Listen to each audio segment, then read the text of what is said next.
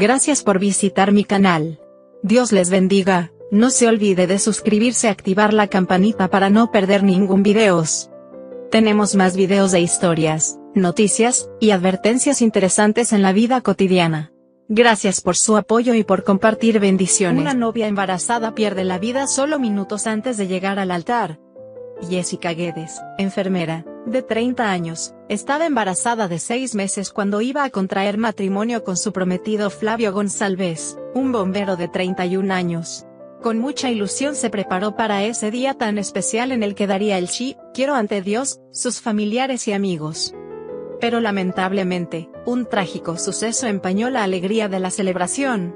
Cuando Jessica se trasladaba a la iglesia el pasado domingo en Sao Paulo, Brasil, a bordo de una limusina, comenzó a sentir malestar. Inicialmente su familia atribuyó los síntomas a la ansiedad propia de la ceremonia. Ella manifestó que se sentía mareada y con dolores en el cuello. Flavio permanecía en el altar esperando a Jessica sin imaginar la gravedad de lo que estaba ocurriendo a pesar de que se sorprendió por el retraso.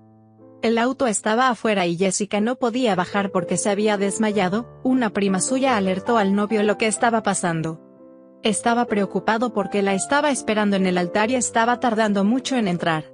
Hasta que una prima de Jessica corrió por la alfombra y me dijo que se había desmayado. Abrí la puerta del auto y ella estaba acostada, pero recuperó la conciencia. Le dije, bebé, estoy aquí. Jessica le respondió que todo estaba bien, pero que sentía un dolor muy intenso en la nuca. En ese momento me convertí en un rescatista como he hecho durante siete años en el departamento de bomberos. La saqué de la limusina, comencé los primeros auxilios y pedí ayuda a mis amigos bomberos que estaban invitados a la boda, relató Flavio.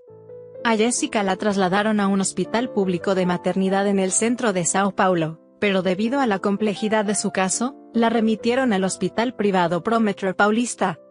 No sabían que sufría preeclampsia, una afección que acabó con su vida. Poco después de ser ingresada de urgencia en el hospital le diagnosticaron muerte cerebral. De acuerdo con el informe médico, Jessica sufrió un accidente cerebrovascular causado por la preeclampsia y el sangrado interno. Los cirujanos se vieron obligados a operarla para extraer el útero. El equipo médico acordó hacer una cesárea de emergencia para salvar la vida de la bebé de 29 semanas. Lamentablemente Jessica no logró sobrevivir.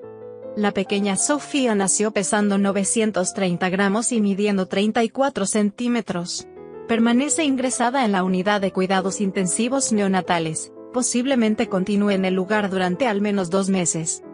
Jessica asistía a la atención prenatal, no tenía la presión arterial alta durante el embarazo, estaba sana, hacía ejercicio físico y se alimentaba bien, dijo un familiar de la madre fallecida.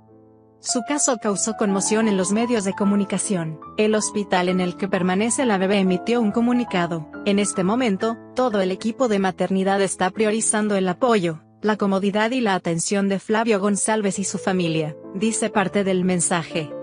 Han salido a la luz las imágenes de Jessica vestida de novia. Nadie habría pensado que horas después estaría sin vida, y que Flavio se quedaría esperando en el altar su llegada. El desconsolado hombre asegura que su hija le da fuerzas para seguir adelante, ella reconoce la voz de su padre.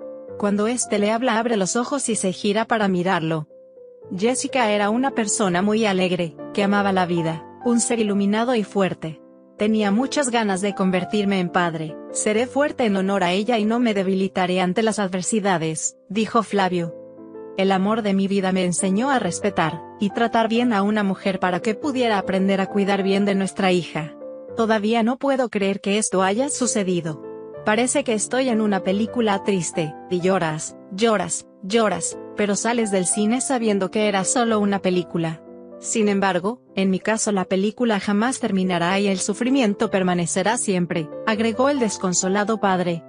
En medio de la tragedia que sufre, Flavio comprobó que el contrato de sus pólizas de salud no contemplaba la cobertura del servicio de atención médica en hospitales privados. Sus amigos emprendieron una campaña para recolectar fondos y ayudarlo a pagar los gastos médicos. La familia de Jessica respetó el deseo que ella había expresado en vida de donar sus órganos. Ayer le dieron el último adiós con un emotivo homenaje. Comparte esta conmovedora historia. Gracias por su tiempo y atención. Si tienes preguntas o dudas acerca de este video, puedes dejarnos sus comentarios. Gracias por compartir este video. Muchas bendiciones.